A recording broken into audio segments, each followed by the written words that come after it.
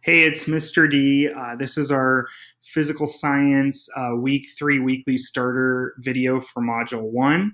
Um, this week, uh, watch this weekly starter video, take the weekly starter quiz, and if you didn't share your interactive science notebook with me, I will not grade it that way. So you've got to embed it in the submission link. Um, where that where that submission folder is, you click on it, and there's a blue button on the right hand side at the top that says Submit Assignment.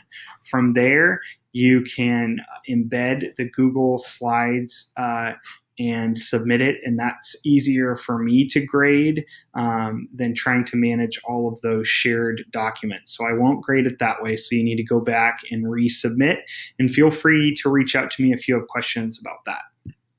This week, we're going to talk about the SI system, the International System of Units, or Le Système International des Units, which is French for that same thing.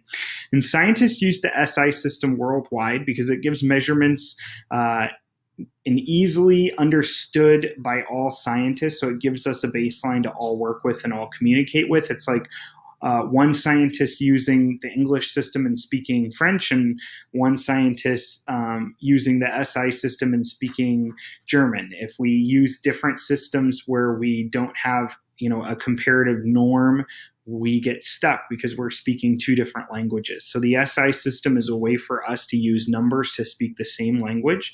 And these measurements are easier to convert than the English system and easier to understand.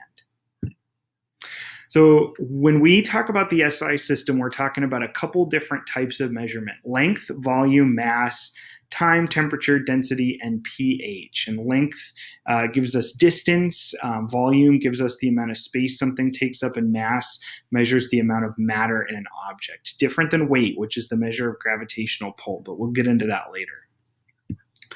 So the measurement system comparisons, uh, we have the yard or the inch in English or the meter or centimeter. For mass, we have ounce and we have pound. We have a couple different other ones, but we have the gram for mass in the SI system. For volume, we have quarts um, or liters, depending on, or not we have quarts or gallons or things like that. But for the SI system, we have liter. For temperature, we have Fahrenheit, and um, but in the SI system, we have Celsius or Kelvin. But time, we share the second. That's the one thing we can seem to agree on. But all measurements have standards, and those standards are exact quantities that we've all agreed upon to use as the basis of comparison. And we'll take a look at those.